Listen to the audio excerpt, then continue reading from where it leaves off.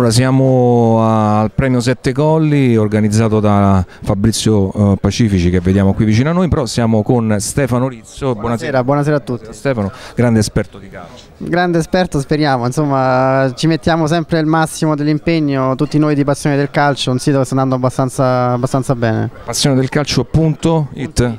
Punto it. a vedere insomma ci sono mh, tanti È contenuti. un sito molto completo, sì, anche legato a un, un programma radio che adesso partirà nuova edizione anche con la giornalista Erika Eramo. Erika Eramo che vediamo qui di fronte a noi. Poi la... e dunque Stefano, parliamo momento importante del campionato, no? c'è Roma-Lazio, Derby e Napoli-Juve, insomma ehm, un momento decisivo forse del campionato, importante, potrebbe essere una svolta, la Roma è a un punto dalla, dalla Juventus, però insomma cosa ne pensi, cosa prevedi fra, al, al termine di questa giornata, cosa vedi?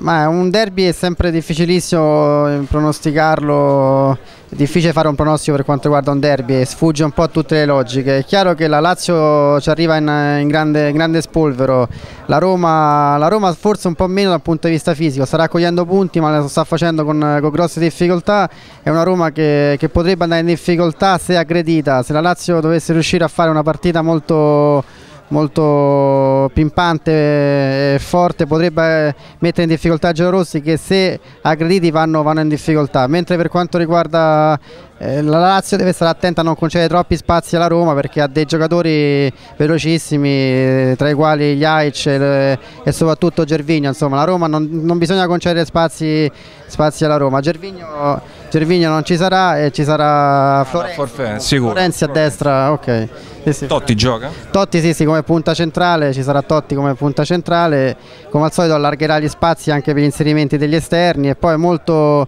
molto sarà, importante la, sarà molto importante la, la partita a centrocampo perché due, due, due grandi due o tre giocatori a testa sono veramente formidabili per quanto riguarda questi reparti ambedue le squadre. Non ci sarà Ulic invece l'autore del gol del derby della, nella finale di Coppa Italia vinto da, dalla Lazio. 2013 2013 dovrebbe essere sostituito da e brucia ancora no? brucia per i giallorossi, per i giallorossi brucia un po' invece tu, sei, tu sei tifoso viola. Esatto sono viola. Infatti in quei momenti mi concentrerò più su Fiorentina Palermo però poi dopo rivedrò tutto anche per quanto riguarda Roma Lazio e poi in serata appunto eh, parliamo di Napoli-Juventus, altra partita importante. Una partita che recentemente è stata appunto la finale della Supercoppa italiana in cui hanno trionfato gli azzurri ai, ai, calci di rigore, una partita tirata, una partita dove la Juventus non è riuscita a chiudere, forse l'errore a mio avviso principale è stato quello del commesso dal tecnico bianconero Massimiliano Allegri perché ha tolto ha tolto Andrea Pirlo in una partita secca dove comunque non doveva risparmiarlo perché eh,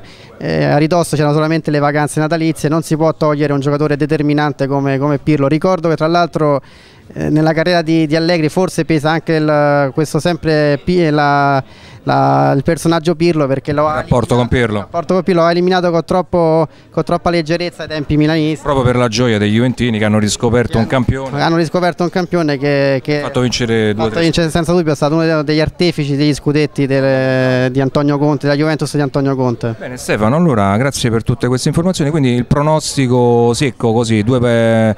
devi rispondere con una parola sola a partita, allora Roma-Lazio? È difficilissimo, riesco. Una parola. Uno eh. X o due. Da, da, schedina, diciamo, da tutto calcio, vai. Roma, eh, Roma Lazio. Io dico, per la bellezza del campionato mi piacerebbe che vincesse la Lazio e vincesse il Napoli. Così rimane tutto invariato. Ah, rimane tutto invariato, quindi... Dietro, dietro accorcia, accorcia, minimamente. Ma se la Fiorentina riesce a vincere col Palermo non, è, non può lottare per lo scudetto, però comunque si creerebbe un po' più di fascino. E... Benissimo. Benissimo, ti chiudiamo in bocca al lupo seguiremo sempre più da vicino il tuo, il tuo sito, ricordiamolo eh, di nuovo. Ok, passionedelcalcio.it. Ok, grazie. Okay, grazie a te.